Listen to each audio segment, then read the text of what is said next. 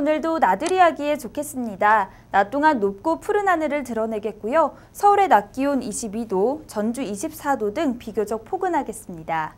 보시는 것처럼 설악산과 오대산에 이어 지리산도 단풍 절정기에 접어들었는데요.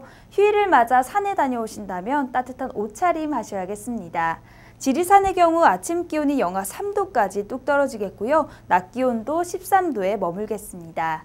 또 남부와 강원 영동을 중심으로는 대기가 건조하니까요. 산불 등 화재 예방에도 신경 쓰시기 바랍니다. 구름 모습입니다. 현재 곳곳에 옅은 안개 낀 곳이 많고요. 경기 북부 내륙 지방은 아침까지 빗방울이 떨어지는 곳도 있겠습니다.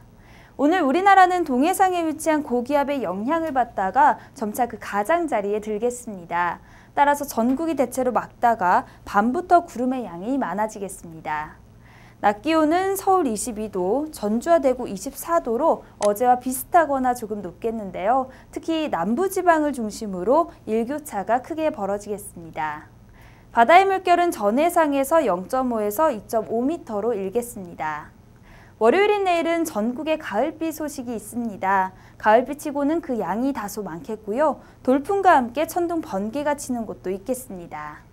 이 비는 내일 새벽에 중부 서해안부터 시작돼 낮에는 전국으로 확대되겠는데요. 비가 그친 뒤에는 일시적으로 가을 추위가 찾아오겠습니다. 날씨였습니다.